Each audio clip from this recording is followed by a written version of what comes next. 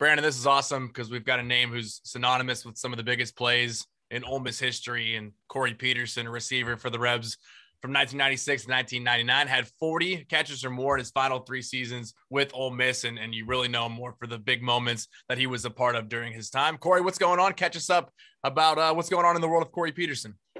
Yeah, no, just uh, uh, living uh, the great life, living my dream in Olive Branch, Mississippi with my family. Uh, took the day off today on vacation to get the house cleaned. Got a, a fellow rebel coming in, John Rom from uh, Newport Beach, California, uh, tonight, and then we're heading down south to uh, Oxford for the game.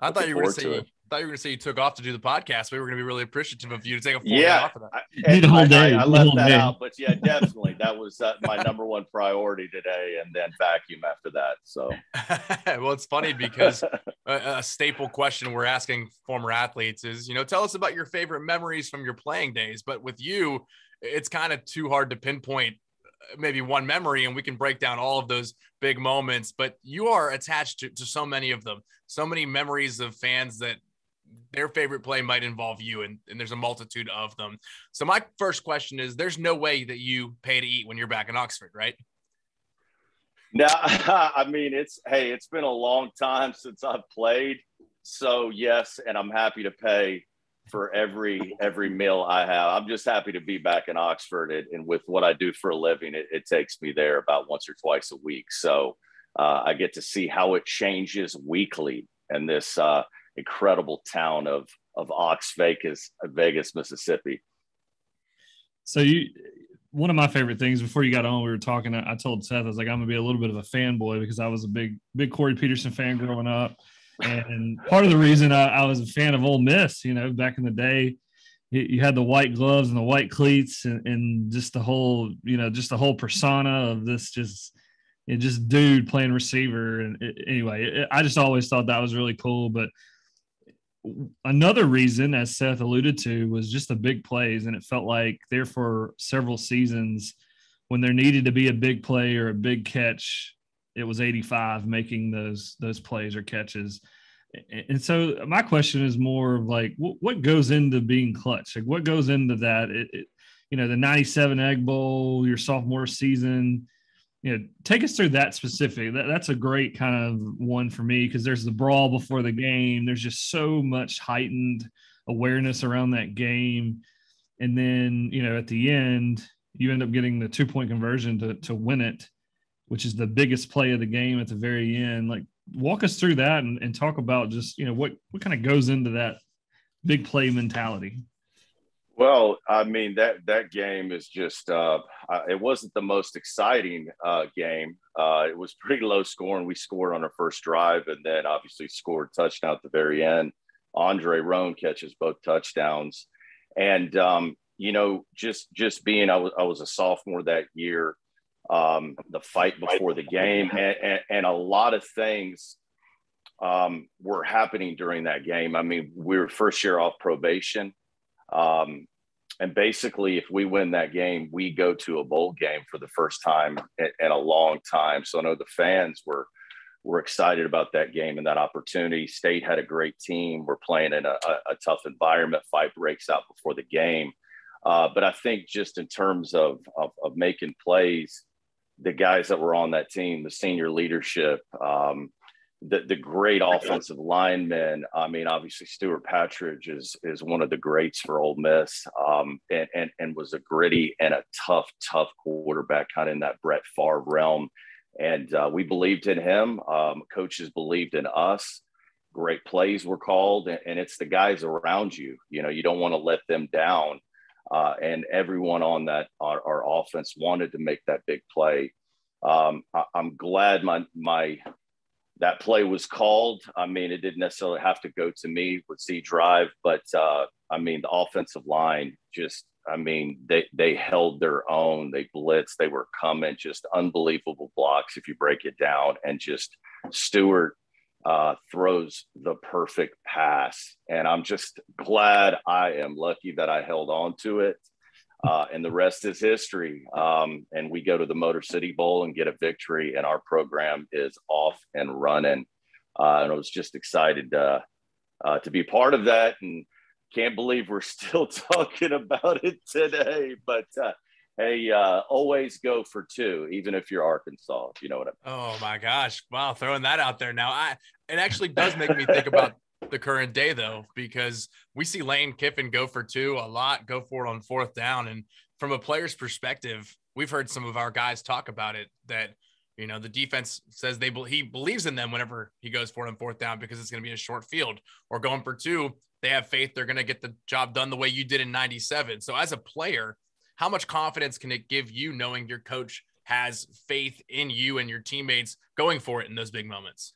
Oh, a lot of confidence, and and, and you're seeing that with the teams now with Matt and his accuracy uh, to make the right decision, get the ball to those those stud receivers we have, and and if if something's not open, I mean, he's going to make the right decision, and obviously he's done that third and long and made some huge plays for us to keep the drives going, and that just kills the defense on the other side. So uh, it's fun to watch. It, it, really is. It's a uh, it's a new age football, and I love it. I, I back it, and uh, I'm going crazy. You know, watching on TV or at the game.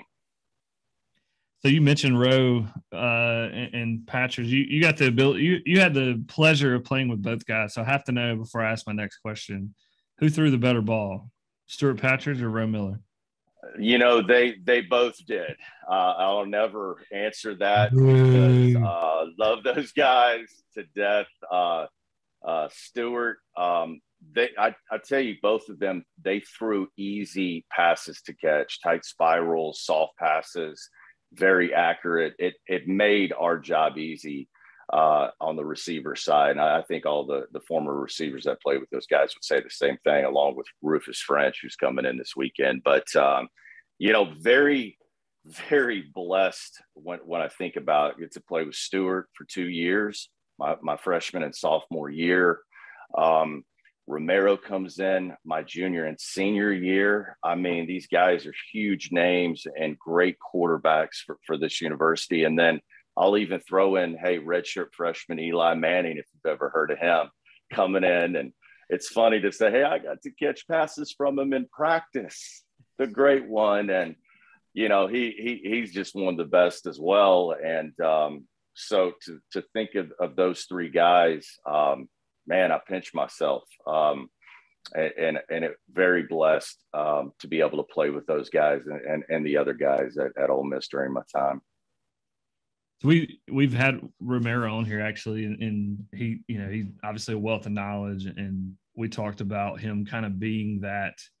Not that Stewart wasn't a, a, more of a modern quarterback, but it seemed like when we got into the you know those those years, the later years of Tuberville, we were throwing the ball more, and so Romaro in those years, you know, he's lighting it up. He came from Shannon High School, who threw the ball a ton, and then he comes to Ole Miss and gets to kind of throw it around some more, and, and just kind of to me, kind of continued to modernize that position for Ole Miss, and not just really Ole Miss, but the SEC as as it sat at the time. People were starting to throw it more. You know, SEC was always this power running, play defense, you know, conference, and he starts kind of opening that up.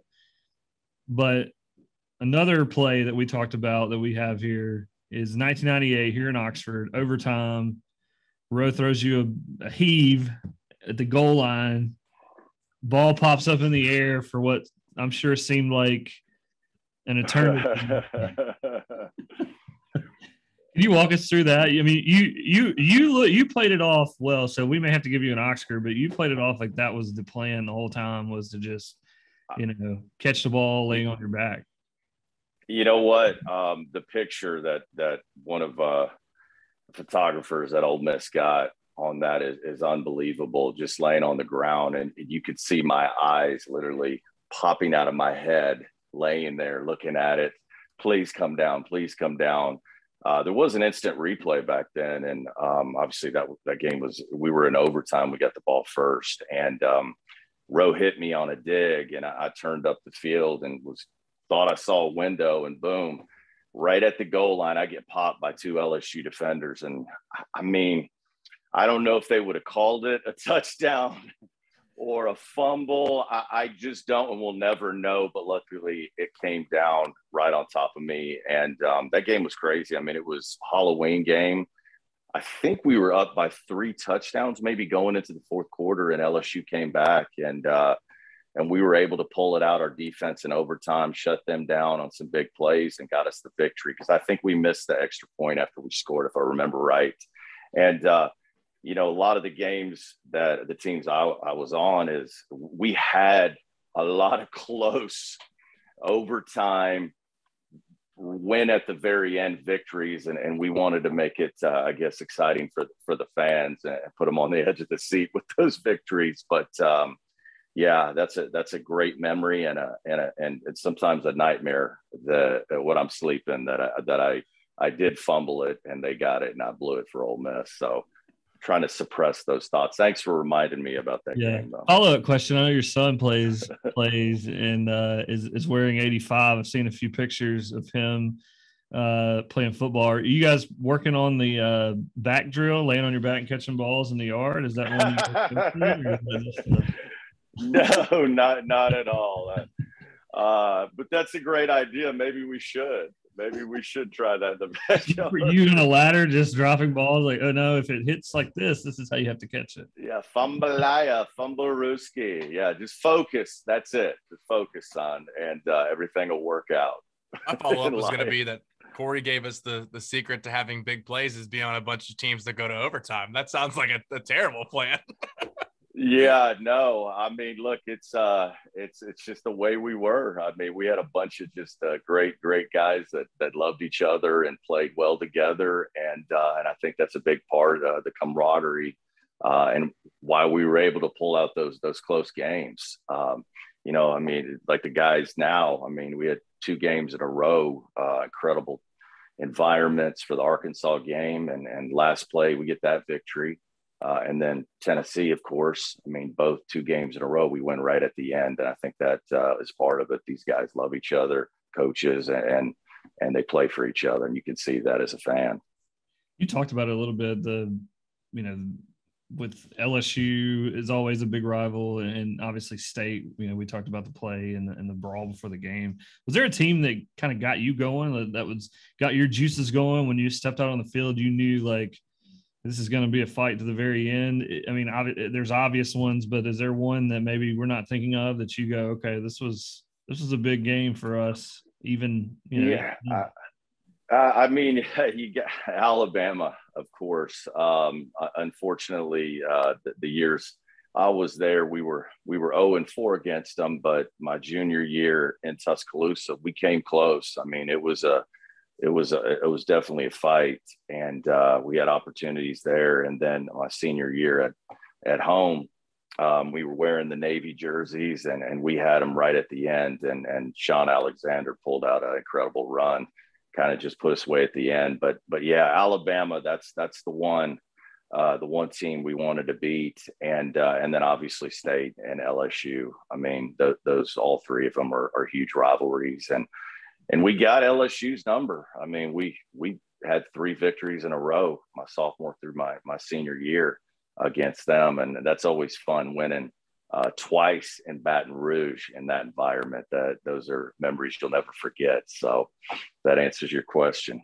Not a lot of teams do that. Not a lot of teams go on and win both of their road matchups uh, in Death Valley. And uh, we're talking a lot about big catches with you, Cory, but another angle is the, the, the electric punt returner ability that you had. And I know some fans whose favorite memory of you is that SMU punt return. Uh, what do you remember about that game, the big comeback, and what did you enjoy most about being a return guy?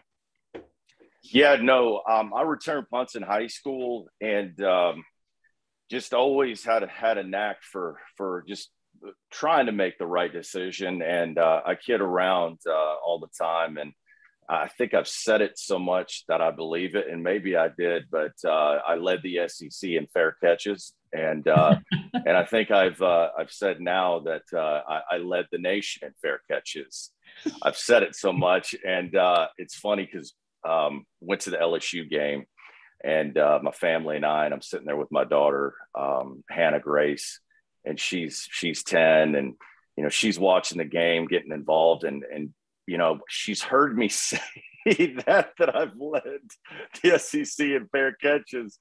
So she started to notice them fair catching in the game. uh, Drummond, and she started yelling out. That was one of her favorite parts of the game, or the fair catches, and and then Ole Miss first down, of course, too. But we mm-hmm. bonded during that game. But it, yeah, I, I that's just one of the things that uh, you know. My dad was a baseball player. I played a little bit back uh, back when I was younger, center fielder, and um, just always liked uh, uh, returning punts. And and it's not it's, it's a nerve wracking thing to do because you're back there by yourself, and then you've got eleven guys running down there trying to take your head off.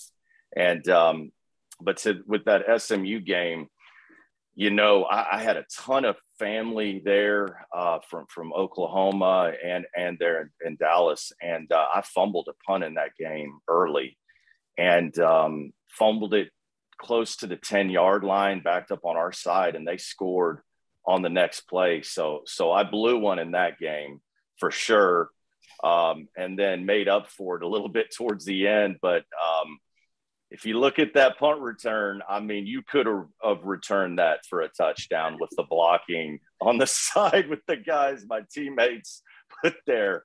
Um, uh, you may have looked a little better because it. I heard people yelling, uh, "Run, Forrest, run!" when I was going down the sideline. So um, I digress there, but um, yeah, a fun thing to do. I don't, I don't, think I could have. Seth, maybe. No, I, I was going to say I've, I've read the quote where you said that you ran a four five forty, but the wind was at your back. I don't think I ever broke five, so I, I don't think you give yourself enough credit. We're uh, we're not uh, we are not the same, Cory. The wind was strong that day, my friend. uh, in in Dallas, I promise you. George Costanza.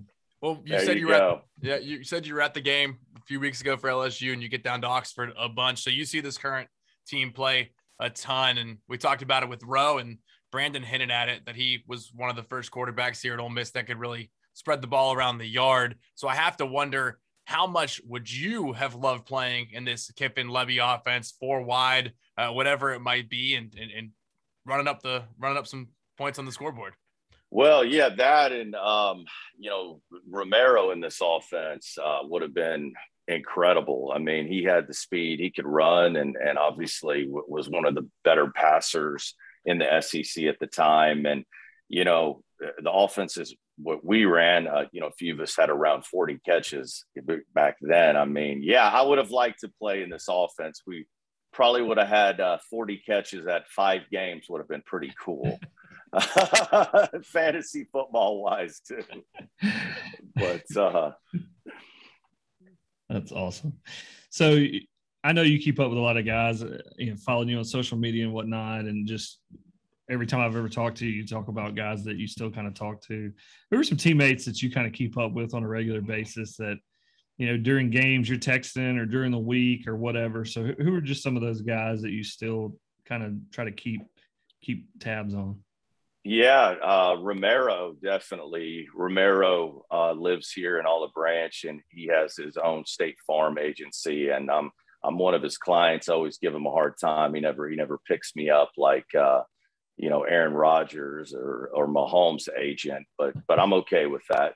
Um, you know, and I see Roe going on a lot of vacations and having a great time with his wife Rhonda, and I uh, I say, well, why are my rates going up every time you take a, a vacation? But uh, no, Roe, Roe for sure. I, I love Roe. And how do you not like the ambassador for oh, Ole Miss, Romaro Miller? I mean, he is he is just he's got the charisma, the humor. I, I just love him to death. Um, and uh, and I'm glad he came to Ole Miss because he was a huge recruit. He had a lot of options. But Roe, uh, for sure. T Wade, I mean, the lieutenant of course, keep up with him. Um, I've got a picture of him in my son's room where I'm, I'm giving him the salute um, at the end of one of the games. I think it's one of our bowl games. And uh, I made Cole get up in the morning and salute the lieutenant just like I had to, uh, of course. Um, sent him that picture last night, as a, as a matter of fact. But, uh, you know, those guys and, and more, more guys as well. We got a fantasy football league that – a lot of us that played together uh, are in that league. Amzie Williams is, is, one of them. He's the commissioner because he's the only one that any of us trust. Um, Rose in that as well, but uh, no, there, there's more than that. But uh, you know, been being around um, Oxford and, and living here in Olive Branch and, and just close by, it's it's been such a blessing. Oxford it, it, and Ole Miss changed changed my life, and uh, it's it's really cool to be be this close and be able to go to the games and, and see a lot of the former teammates that uh, that I played with. So, who is winning that fantasy league right now? Well, we go by power ranking, and uh, the guy that's in first place, ironically, played at Arkansas, played receiver there, David Thompson, uh, and he's in first place now. But I'm I'm coming there. I'm I'm I'm okay. ranked fourth. That's the the last spot for the playoffs. So I'm coming along. And hey, thank you, you know, thank you, DK Metcalf. I appreciate you, bud. Um, you have put up all kinds of numbers for me. Uh, love your father uh, for raising you into a beast that you are. So thank you, sir. We're gonna go get that championship so I can get that dough. Even with a, even, a nice vacation. Even with a backup quarterback, he's still putting up numbers. That's nice. Hey, you know what? Carson Wentz has helped me the last couple weeks and uh, last night too. So thank you, Carson. Appreciate that too. So yeah. I love yeah. that you're leading into my next question too, because you have to take some pride in the lineage of the Ole Miss wide receiver, whether it's your generation going to Chris Collins, Taye Biddle, Mike Espy, Mike Wallace, Dante, AJ, DK, Elijah Moore, two touchdowns last night. And then, of course, yes, the, sir. The crop of guys that we have here now and moving into the future. How much pride do you take take in seeing that lineage develop? Uh, it feels like they just keep coming, and it has to be fun to watch for you. Oh, it is. I mean, just the names go on and on. And um, I remember uh, getting to meet Shay Hodge um, when when Matt Luke was the head coach. He brought us all back during one of those spring games that it was like 20 degrees, but brought our families back, uh, going to the indoor facility. Uh, Tom, Luke, you know, I know it was a big part of having all of us come back, and that's a big deal. And and and with your your family, get to see Laquon Treadwell and Chad Kelly and all these guys. But I gotta say, you know, Shay Hodge is just one of the great. I mean, there's so many names, but meeting him was really cool for me and having some words with him and uh, and watching these guys in the NFL. I'm a big NFL guy, and I, I get that Sunday NFL ticket. So you know, Sundays it's it's on that red zone channel in the backyard in the living room. It's it's chaos around here, but uh, I follow all the guys that have played uh, in the NFL: DK, AJ, you know, Elijah now, and, and and a lot of other ones that played at that level. And it's it's just a treat to to watch those guys on Sunday. So, but yeah, I mean, what I mean, it is receiver you. I mean, you can't argue that. I mean, Mike Wall. I mean, the list goes on and on, and and and guys that didn't just make it, but made major impacts in the league. It's that's a huge deal, and uh, seeing those guys on the jumbotron uh, for the LSU game was real cool too. That that was a neat thing to see see so many players come back for that. Cory, we appreciate the time certainly, but before we let you go, we, have got to get just a family update. I know you're a family guy, and, and as you've as you've talked about kind of during this interview, just you know your your affinity for your kids, and I know you're I know like I said, I know your kid wears a, wears 85, but give us an update on the family and the kids and what you guys what you guys do. I mean, what what is what do the Peterson clan do for fun these days? Uh, you know what? Uh, watch football pretty much this time of year. I mean, bless my wife. I mean, she she handles it and she's getting into it. Uh, she was on the other end of the spectrum when we were in college. She was an accounting major and um, you, you know, academic scholarship. And what's that? Did you guys meet at Ole Miss? We did. She um, she's three years younger than me, okay. and she um, she roomed with my sister. They came in the same year, and um, uh, we became Good friends work. and tried out. Yeah, yeah. We didn't date in college, but she uh, she's a special lady. She puts up with me and and football on every night, and um, she's just a great great lady. Lady G, love her to death. But uh, we're pretty boring. I mean, it's football, Netflix, or uh, that's it. I've got a, a retention pond behind my house, so we're out there fishing and uh, shenanigans uh, behind the house. Basically, I won't go into all that, but uh, we have a lot of fun, and we don't even have to leave the house here at uh, Lake Peterson or or Lake Dumas, if you know what I'm saying. Dumas. Sounds like COVID may have been good for you guys then. You, you just yeah, it, it, yeah, well, nothing it changed. is. Not, nothing changed, but uh, yeah, a lot of laughs and, and goofing around over at our house. Uh, that's what uh, we pride ourselves in. And ironically, uh, my kids go to Lewisburg um, School. Uh, it's right off that that 269 new highway. We live on Craft Road, but one exit up is is it's spelled laughter. Uh, it's pronounced laughter, but I refuse to say laughter. So I always say I live one exit from from Laughter Road to see if anybody corrects me. And when they do, I go, they go, Cory, you know it's it's pronounced laughter. I go, no, it's not. Like a five year old. But uh, you know, these are all things in my head. I'm trying to suppress the nonsense, but uh, Love it. all is well up here. So the doctor tells me. I'm excited. I know how to get to Cory's house now, and I can go up there and watch Yeah. Sunday NFL Ticket. This has been a Come on. the elaboration has done me some favors. I'll fire up the Traeger. We can fish. We can go get some two-tailed crappie, three-eyed catfish. We'll have a blast while we're watching the football games. I love it. Cory, thank you so much for your time. One of the greatest to ever don the Ole Miss uniform. We appreciate everything. Thank you. Thanks for having me. Appreciate your your kind words. Enjoyed it, fellas. Hotty toddy.